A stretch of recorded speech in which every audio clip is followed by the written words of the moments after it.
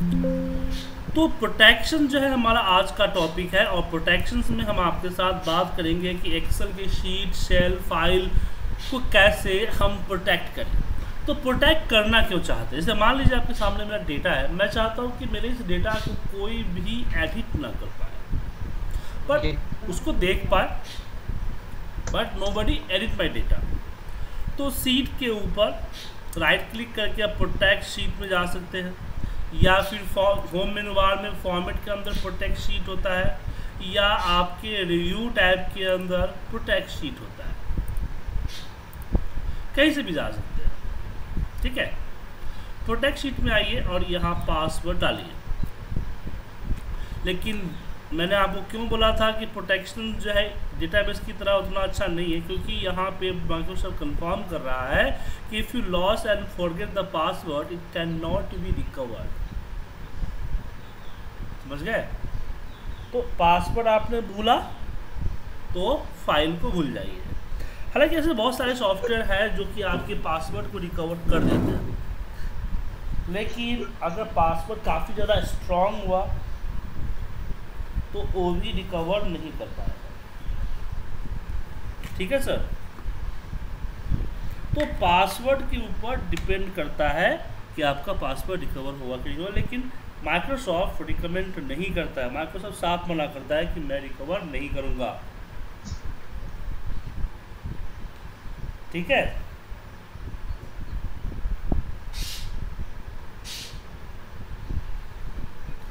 तो इसमें आपका पासवर्ड कन्फर्म करते हैं एंड ओके करते हैं। अब मैं अपने सीट के ऊपर किसी भी तरह का कोई चेंजिंग नहीं कर सकता। ठीक है? जी। लेकिन इसको सिलेक्ट करके कॉपी कर सकता हूँ इसको सिलेक्ट करके कॉपी आसानी से कर सकता हूँ।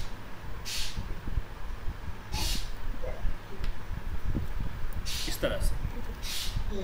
मैं चाहता हूँ कि मैं अपने डेटा को कॉपी भी ना कर सकूँ। कोई भी मेरा डेटा कॉपी भी ना कर सके। तो क्या करेंगे इसके लिए? तो इसके लिए कॉपी को डिसेबल करना एक्सेल के अंदर पॉसिबल नहीं है। यहाँ पे एक चीज़ कंफर्म कर लीजिए कि कॉपी को डिसेबल करना कोई copy this is not a part of the Excel a part of the window है। ठीक है?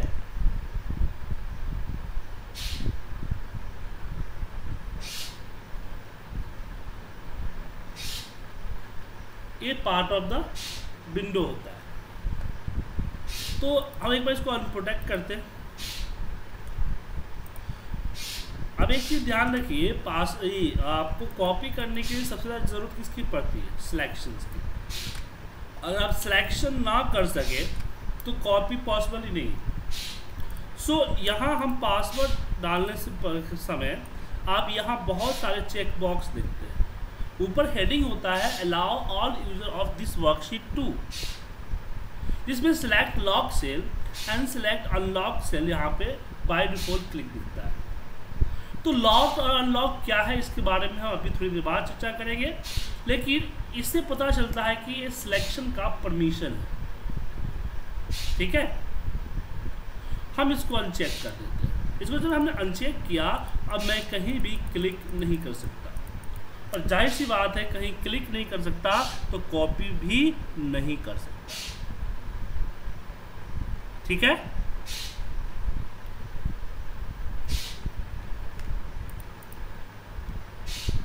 अब दूसरी सीट पे आते हैं। मुझे एक पर्टिकुलर एरिया को प्रोटेक्शन से बाहर रखना है। मैं चाहता हूँ कि पर्टिकुलर एरिया प्रोटेक्शन से बाहर रहे।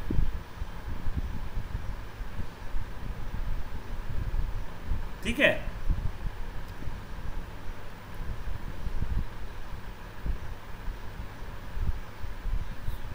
तो क्या करें? कि देखिए, जब भी हम पासवर्ड डालते हैं तो यहाँ ऊपर लिखा होता है protect worksheet and content of lock cell मतलब जो प्रोटेक्शन होता है कंटेंट की, वो लॉक सेल पे अप्लाई होता है अनलॉक सेल पे अप्लाई नहीं होता। अब बारी आती है कि लॉक्ड और अनलॉक सेल होता क्या है, इस चीज़ को जानने के लिए। तो आप किसी भी सेल के ऊपर राइट क्लिक करें फॉर्मेट सेल पे जाएँ फॉर्मेट सेल के अंदर, और यहाँ जो है सबसे लास्ट में दिखेगा प्रोटेक्शन और इस प्रोटेक्शन में लॉक पे क्लिक होगा। तो हर एक सेल ए लॉक्ड पे क्लिक होता है मतलब कि लॉक्ड होता है। जिस भी सेल पे लॉक पे क्लिक है इट मीन्स वो लॉक्ड सेल है। हमने अनचेक कर दिया तो अनलॉक हो जाएगा। लॉक अनलॉक लॉक मतलब ये हुआ, ऐसा नहीं कि पासवर्ड डला हुआ। लॉक का मतलब ये हुआ कि प्रोटेक्शन को सपोर्ट करता है। तो हमने इस कलर्ड एरिया को सिलेक्ट किया राइट क्लिक यहाँ पे फॉर्मेट सेल और यहाँ से लॉक को हटा के एंड ओके कर दिया। देन हम इसको प्रोटेक्ट सीट और यहाँ पे पासवर्ड डाल दिए पासवर्ड को कंफर्म कर दिए देन ओके अब मैं कहीं भी टाइप करूँ टाइप नहीं होगा बट यहाँ टाइप करूँगा तो टाइप हो जाएगा।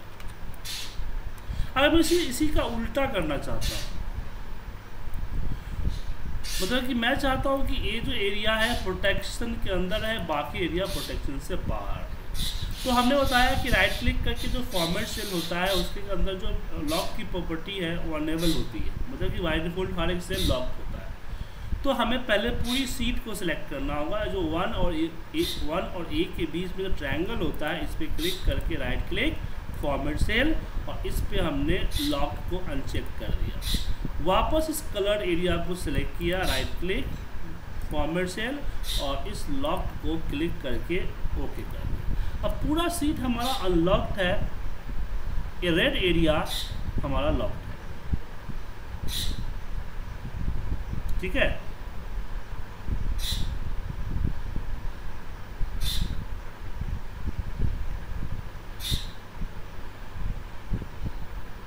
अब हम क्या करेंगे? राइट क्लिक प्रोटेक्ट शीट और पासवर्ड डाल के ओके कर अब मैं यहाँ टाइप कर सकता हूँ। बट यहाँ टाइप नहीं कर सकता। तो समझ में आया आप लोगों को ये? गुरदीप जी? चलिए। अब इसका बेसिकली बेनिफिट क्या है? हम ऑफ़िस में किस तरह के यूज़ करेंगे? देखिए जैसे कि मेरा पढ़ाने की स्टाइल समझते ही है कि पहले हम आपको टॉपिक को समझाते हैं। अब टॉपिक को समझ गया है तो अब बात करते हैं कि इसका बेनिफिट्स क्या है। तो मान लीजिए कि मैं एक डेटा एंट्री करता हूँ, जैसे मैं यहाँ लिखता हूँ name name quantity M R P amount G S T commission total date and time अब इसमें क्या है कि जो अमाउंट है it is multiply by quantity and MRP और जीएसटी जो है, वो है इसका एटीन परसेंट और कमीशन जो है two percent of the total और total also both of the total अब इसको हम नीचे तक ड्रैग कर लेते हैं। अब मुझे डेटा को टाइप करने के लिए क्या करना होता है कि यहाँ पे नाम डालता हूँ कि पूजा क्वांटिटी हमने डाला और टैप प्रेस करके हमने आपको 63 थ्री यहाँ डाला। जैसे इनको टैप प्रेस करेंगे तो ये बाकी ऑटोमेटिक कैलकुलेट हो जाएगा और मुझे एक एक करके फिर यहाँ डेट और टाइम डालना होगा, इस तरह से। तो आप देख रहे हैं कि हर एक एंट्री में मेरा चार सेकेंड वेस्ट हो रहा है। हो रहा है सर कि मुझे डेट एंड टाइम के लिए मुझे यहाँ एक एक करके जाना पड़ता है, या फिर माउस से जाके फिर यहाँ डायरेक्ट क्लिक करना है। तो दोनों में टाइम वेस्ट हो रहा है। मैं चाहता हूँ कि जैसे मैं यहाँ से एरो की टैब को प्रेस करूँ, मेरा कर्सर डायरेक्ट जंप होके यहाँ आ जाए, ताकि मैं इस कॉलम को इग्नोर कर, क्योंकि मुझे इसको टाइप करने की ज़रूरत नहीं है। और आगे की बात यह है कि इसमें जो फॉर्मूले वगैरह लगे हैं, वो कोई देख ना पाएगा, और भी चीज़ें हैं। तो इसके लिए इसी मेथड को, ये जो मेथड है, इसी मेथड को अपनाएँगे। हम क्या करेंगे? पूरी सीट को सिलेक्ट करेंगे। और हम फॉर्मेट सेल में जाएँगे और लॉक को अनचेक करेंगे। और फिर इस डी ई एफ़ जो कॉलम है, जिसमें फॉर्मूला लगा हुआ है, इसमें वापस लॉक लगा देंगे। अब इसमें हम पासवर्ड डालेंगे प्रोटेक्ट की लेकिन पासवर्ड डालते समय यहाँ सेलेक्ट लॉक्ड डेटा है ना यहाँ पे सेलेक्ट लॉक्ड सेल्स इसको अनचेक कर देंगे। लॉक सेल कौन सा है? डी ई एफ़ जी जिसमें फॉर्मूला है तो हम उस पर सिलेक्शन की अथॉरिटी हटा देते हैं कि हम सिलेक्ट ही नहीं करना चाहते इसको। देन अब देखिए क्या होगा। यहाँ नीतू टैब मारिए और जैसे टैब प्रेस करेंगे तो वापस यहाँ आ ठीक है? तो कोई भी इसमें कोई सिलेक्ट नहीं कर पाएगा। ठीक है? अब यहाँ पे डेट एंड टाइम डालिए। तो गुरदीप जी राधे श्याम जी और राजेश जी समझ में आया आपको ये? Hello ji sir ji sir चलिए। अब आगे बढ़ते हैं इसमें। सर एक चीज़ था। हम्म, पूछिए। सर ये हमारा हो गया सिर्फ़ उस केस के लिए सर हमें ऐसे यूज़ करना है तब। लाइक बीच में हालाँकि कोई सवाल नहीं बनता इस चीज़ के लिए। ये है कि जैसे अब किसी के पास रिपोर्ट जाएगा यदि कॉपी नहीं करेगा तो इसका यूटिलाइजेशन नहीं होगा सिर्फ़ वो व्यू कर सकता है इस रिपोर्ट को। हाँ। जब आपको किसी को भेजना है तो उसको अनप्रोटेक्ट करके भेज दीजिए। ठीक है सर ठीक क्या? हमने एक एग्ज़ाम्पल क्यों बनाया ताकि आपको टाइपिंग हाँ करने में प्रॉब्लम हाँ वो यूटिलाइजेशन समझ आ जाए यूटिलाइजेशन क्या है हाँ। डेटा एंट्री करते समय प्रॉब्लम ना हो इसलिए। क्या होता है ना कि जब हम देखिए होता क्या है? जैसे मान लीजिए एक फॉर्म है आपका राइट तो मान लीजिए यहाँ पर नेम है और यहाँ आपका रोल नंबर है यहाँ आपका मार्क्स है।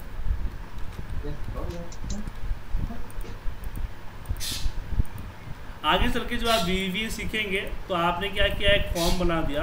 अब प्रॉब्लम क्या है कि अगर यहाँ पे नाम लिख के एंटर पे आ रहेंगे तो कर्सर यहाँ आएगा फिर मुझे यहाँ आके यहाँ जाना है। ओके इसको फिक्स करने के लिए। हाँ तो इसको हम क्या करेंगे कि इस तरह से कर देंगे कि मेरा कर्सर इन तीनों पे ही जाएगा बाकी जगहों पे नहीं जाएगा। नहीं जाएगा। ठीक है? और हमने इसको यहाँ पे प्रोटेक्ट प्रोटेक्ट शीट में गए और इसकी लॉक को हटा दिया अब क्या है कि मेरा कर्सर जो है जैसे मैंने यहाँ पे पूजा टाइप करके एंटर प्रेस करूँगा डायरेक्ट मेरा रोल नंबर पे जाएगा। तो जब डेटा एंट्री आगे चल के जब डेटा एंट्री टाइप के बनाते हैं जैसे आप इंटरनेट पे ही फॉर्म भरते हैं ना तो टाइप प्रेस करते हैं तो कहाँ जाता है? एक एक टेक्स्ट बॉक्स बॉक्स में? नेक्स्ट नेक्स्ट बॉक्स पे जाओ। तो उस तरह की चीज़ें यहाँ आप कर सकते हैं। अब एक चीज़ और है कि आप चाहते हैं कि डेटा मेरा कोई पर्सन डेटा कॉपी वगैरह कर सके सब कुछ कर सके बट मेरा फॉर्मूला जो है वो ना देख सके। बिल्कुल सर ये चीज़ चाहिए सर। सब फॉर्मूला ना देख सके। तो आपने क्या किया? इसको सेलेक्ट कर दिया। तो वो डेटा इंटी विंटी सब कर सके बट मेरा फॉर्मूला ना देख सके। तो हमने क्या किया कि इस से पहले तो पूरे सेल को सिलेक्ट किया और मैंने इसको अनलॉक कर दिया ताकि वो इंट्री कर सके। इसको वापस हमने सेलेक्ट करके फॉर्मेट सेल में जाके हमने इसको लॉक कर दिया। ठीक है? लॉक के साथ साथ, नहीं लॉक इसमें हाँ लॉक कर दिया फॉर्मूला है तो लॉक करना ही पड़ेगा। साथ साथ हमने हिडन भी कर दिया। ठीक है? हिडन फॉर्मूला के लिए। अब मैं जैसे इसको प्रोटेक्ट करूँगा सॉरी प्रोटेक्ट शीट करूँगा एंड ओके कर दिया। अब क्या है कि मैं यहाँ इजीली टाइप कर सकता हूँ डेटा एंट्री कर सकता हूँ। सिलेक्ट करके कॉपी भी कर सकता हूँ। ठीक है? बट जैसे इसमें कर्सर देखूँगा ऊपर देखिए कुछ दिख रहा है? नहीं सर। नहीं दिख रहा है? नहीं नहीं बट दिखता इसमें देखिए 36 दिख रहा है बट इसमें नहीं दिख रहा है। अगर इसको कॉपी करके कहीं कोई पेस्ट करेगा तो मेरा फॉर्मूला नहीं आएगा जस्ट नॉर्मल डेटा आएगा। पेस्ट इज़ वैल्यू इसका इस्तेमाल भी आप कर सकते हो। राइट सर चलिए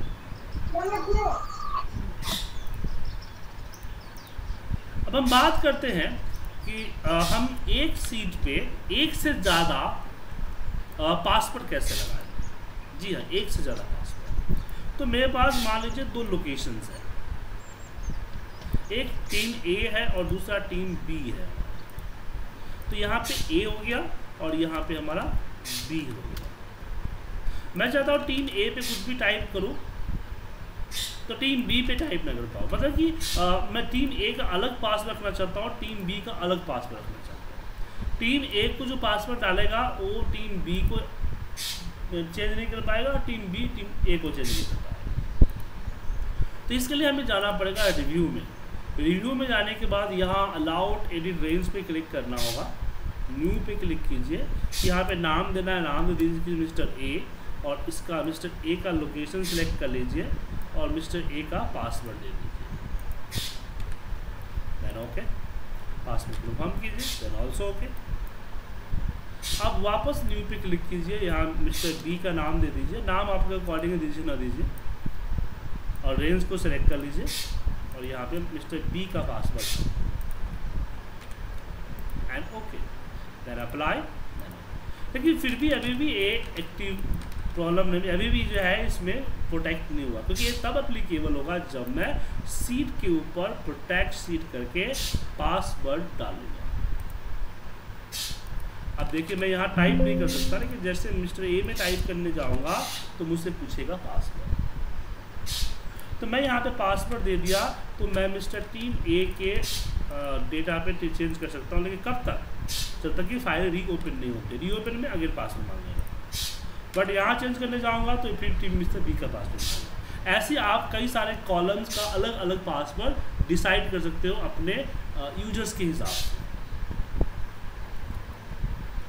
अगला टॉपिक आती है कि मेरा हमने सेल को तो प्रोटेक्ट कर दिया, अपने सेल के अंदर की चीज़ों को प्रोटेक्ट कर दिया। सीट कैसे प्रोटेक्ट करें? तो सीट पे कोई भी राइट क्लिक करके इसको इजीली डिलीट कर सकता है सिंपल तो उसके लिए होता है यहाँ रिव्यू के अंदर ही प्रोटेक्ट वर्कबुक एंड पासवर्ड डाल के ओके कर दीजिए। आप अब सीट को कुछ भी नहीं कर सकते, आपका स्ट्रक्चर जो है, वो प्रोटेक्ट हो गया, ना सीट इंसर्ट कर सकते हैं, ना डिलीट रिनेम रिमूव वो भी कुछ नहीं सीट कुछ भी नहीं होगा। बट फ़ाइल ओपन होगी। आप चाहते हैं फ़ाइल को ओपनिंग पासवर्ड डालना। तो फ़ाइल आपका बिल्कुल नया है, अभी जस्ट क्रिएट किया है आपने तो आप यहाँ मोर ऑप्शन पे जाके और ब्राउज में जब जाते हैं, जब फ़ाइल का नाम वगैरह देते हैं तो यहीं पे टूल्स होता है। टूल्स में जनरल ऑप्शन और यहाँ पे आप अपने पासवर्ड डाल दीजिए। तो ये आपका password to open and password to modify डाल सकते हैं। दो अलग अलग पासवर्ड एक पासवर्ड ओपन करने के लिए होगा, दूसरा उसके अंदर चेंजिंग वगैरह करने के लिए होगा। Okay okay? लेकिन प्रॉब्लम आती है कि मेरा फ़ाइल बिल्कुल नया नहीं है, मेरा पुराना फ़ाइल है। मैं इसको सेव एज नहीं करना चाहता क्योंकि सेव एज करने से बहुत सारे लिंक वगैरह जो है वो टूट जाएँगे। उस केस में हम क्या करेंगे? फ़ाइल के अंदर इन्फो के अंदर, या प्रोटेक्ट वर्कबुक पे क्लिक कीजिए एनक्रिप्ट विथ पासवर्ड ये आपका ओपनिंग पासवर्ड रहेगा। ठीक है सर हेलो ओके सर चलिए। ये वाला सर थोड़ा फिर से बताइएगा। फ़ाइल के अंदर इन्फो के अंदर इनक्रिप्ट विथ पासवर्ड ठीक है। ये आपको फ़ाइल को बिना सेव किए हुए ओपनिंग पासवर्ड ये थी हमारी प्रोटेक्शन मेथड की क्लास आप इसको हर एंगल से प्रैक्टिस कर लीजिएगा, क्योंकि आगे चल के इसका बहुत ज़्यादा यूज़ होने वाला है।